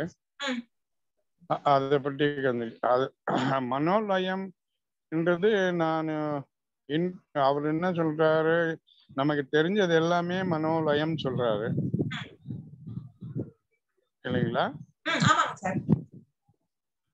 ம் ஆமாங்க சார் ஆ ரெண்டாவது எனக்கு என்னன்னா டவுட்டு அதை மனோலயம்னா நம்ம ஏதோ மியூசிக் ரசிக்கிறோம் இல்லை இன்ட்ரெஸ்டாக செய்யணும் பேஷனேட்டாக அதெல்லாம் மனோலயமா நமக்கு மனசுல முரண்பாடு இல்லாமல் லைக் டிஸ்லைக் இல்லாமல் ம- நம்ம மறைஞ்சு நம்ம ஈடுபட்டு வேலை செய்கிறோம் மனோலய நாசனம் வந்து லிபரேஷன் சொல்றாரு. அது எப்படி புரியல?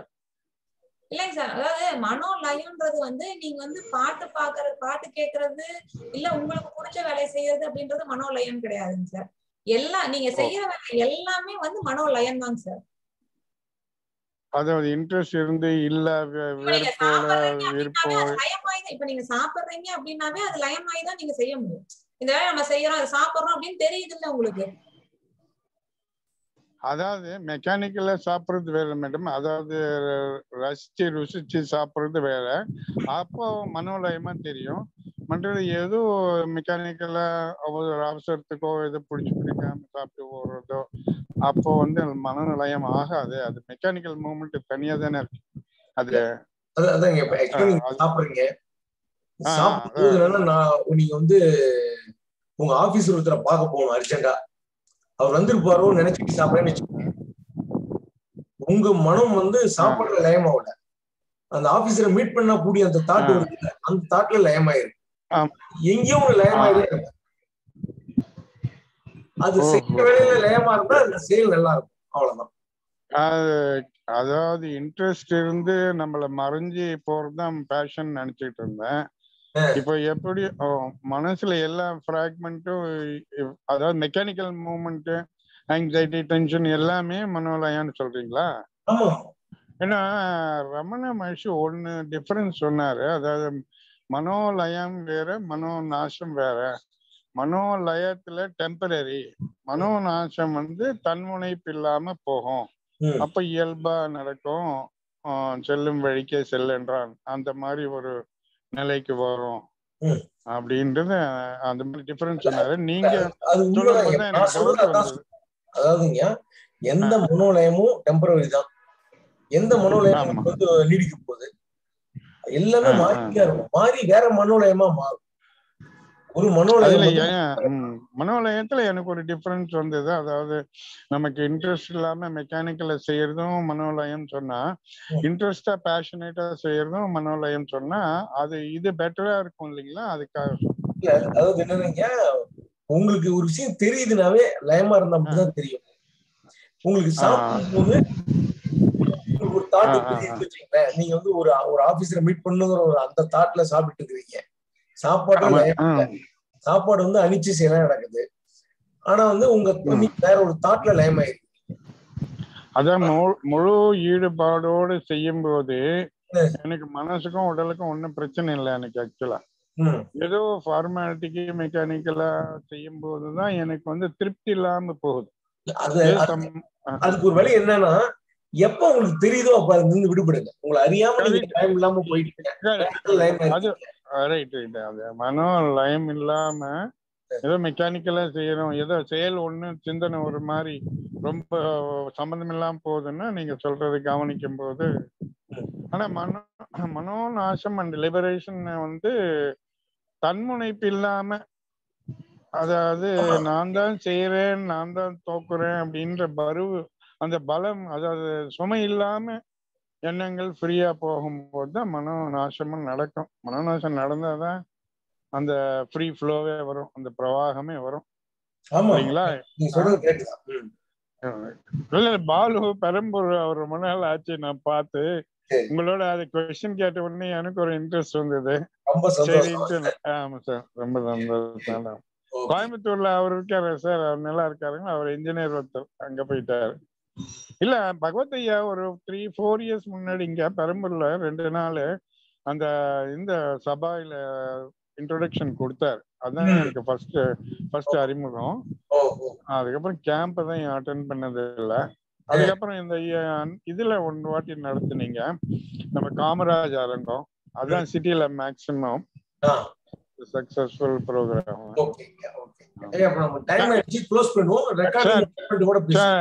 thank you very much sir thank you thank you thank you கலந்து கொண்ட நன்றி வணக்கம். வணக்கம் வணக்கம்.